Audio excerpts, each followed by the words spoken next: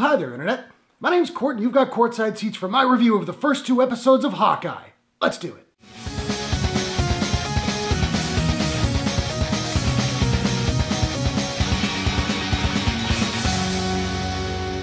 Hawkeye is an action-adventure crime miniseries from creator Jonathan Igla and Marvel Studios. The limited series stars Jeremy Renner, Hailee Steinfeld, Tony Dalton, Linda Cardellini, and Vera Farmiga. Former Avenger Clint Barton has a seemingly simple mission, get back to his family for Christmas. Possible? Maybe with the help of Kate Bishop, a 22-year-old archer with dreams of becoming a superhero. The two are forced to work together when a presence from Barton's past threatens to derail far more than the festive spirit. So Hawkeye is a six-episode limited series featuring Clint Barton, and my friends at Disney sent me the first two episodes. Now I'll give this caveat straight up, I'm not like super psyched for Phase 4. So far, the only thing that they've done in Phase 4 that I straight up haven't liked was What If, I didn't even finish it. While I mostly really liked WandaVision, Shang-Chi, and Loki, I was kind of mixed on Eternals, Black Widow, and Falcon Winter Soldier. I'll also say that I do like Hawkeye as a character, and I do think it's kind of cool that he's the only Avenger with a family, but I've never really felt the need to see a Hawkeye standalone project. And it did help that, at least in these first two episodes, the focus is a little bit more on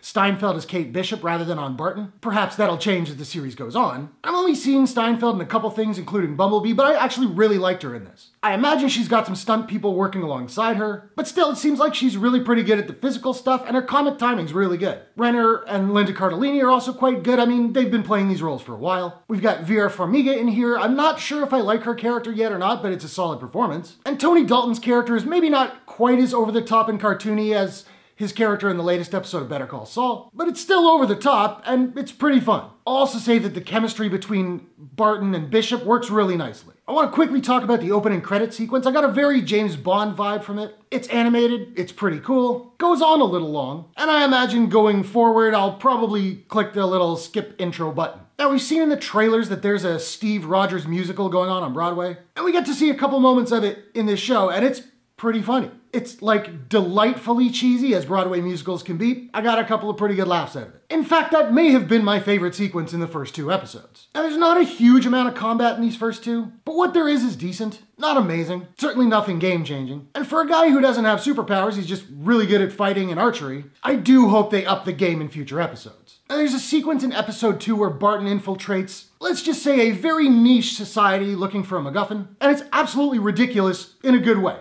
Again, I got a bunch of laughs out of it. It's so silly, but it's fun. I also have to say the CGI in this series so far is not that great. I mean, it works well enough, but there's some stuff involving fire, which maybe I'll find out later was totally done practically and I'm just an idiot. Distinct possibility, but it did not look very good to me. Overall, I dug these first two. I'm not like champing at the bit for more, but unlike What If, I'm hooked enough to watch a couple more episodes. I'll probably finish it. There's only four more. Now, I don't have a proprietary rating system as of yet, so I'm just trying to figure out what I'm gonna give the first two episodes of Hawkeye. I think I'm gonna give Hawkeye a I know you like me. Out of 10. So now I want to know, are you looking forward to Hawkeye? Have you seen it yet? What did you think? Who's your favorite Avenger? Whatever your thoughts, hit the comments below. Let's discuss. If you enjoyed this review, please smash that like button and give it a share if you really enjoyed it. Just helps the video reach more people, helps the channel grow. I appreciate it very much. And hey, why not take a second, do me a favor, click subscribe and ring that bell to subscribe to my channel for more movie reviews, entertainment news, trailer reactions, all that good stuff. Hope you guys are all safe and healthy. Thanks very much for watching. I'll see you all in the next one. Take care.